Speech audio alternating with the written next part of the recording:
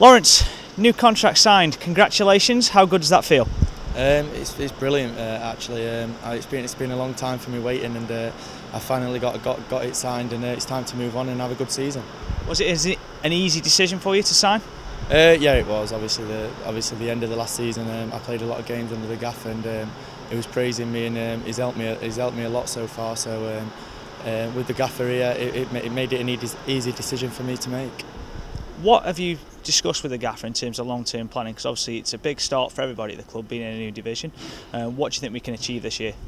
Um, the first thing, obviously, we want we want to try and achieve is, is promotion straight back up to, to League One. Um, I feel like the gaffer's brought in some good players, and uh, we've seen that last week in training. And um, the the main aim is to, is to try and get back up to up, up the league and, um, and and have a good season.